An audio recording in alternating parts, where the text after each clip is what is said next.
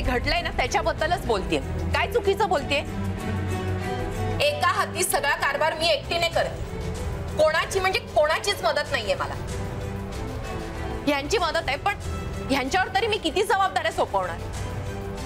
जनमत विकास पक्ष काय फक्त आमच्या दोघांचा आहे. या घरातल्या कोणाशीच त्याचा काही संबंध नाहीये. वहिनी असं काहीही नाहीये. मग मला वेळ लागलाय म्हणून असं बोलतेय मी. माझा पराभव झाला ना तर काही लोकांना आनंदच होणार आहे.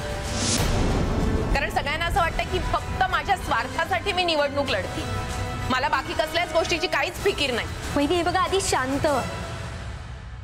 असं कोणालाही काहीही वाटत नाहीये.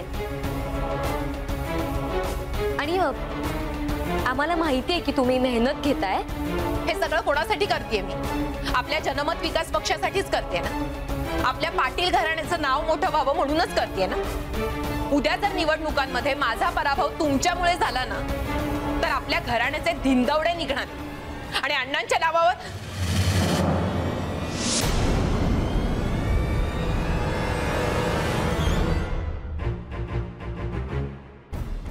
अण्णा मला माफ़ करा मी मी चुकीचं बोलले.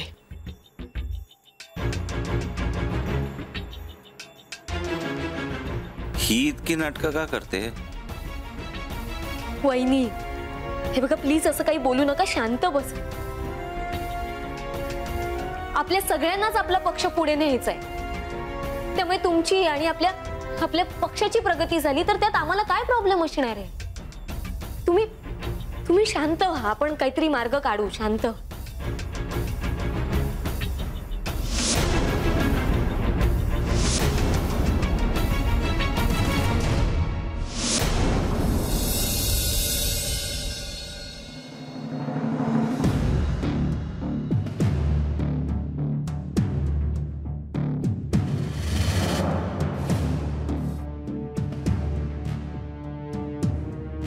तेव्हा आज आज माझ्याबरोबर कोणीच नाहीये.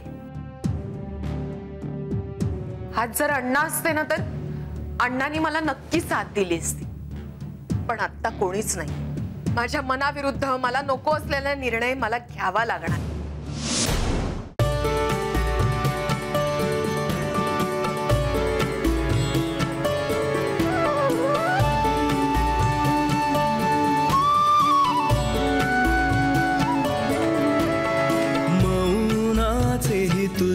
इशारे आता कळू लागले.